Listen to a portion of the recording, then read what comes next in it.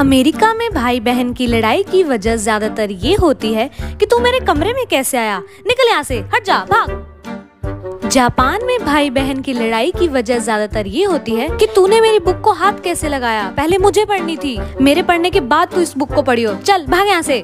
India में भाई बहन की लड़ाई की ज़्यादातर वजह ये होती है कि तूने मेरे फ़ोन को बिना पूछे हाथ कैसे लगाया?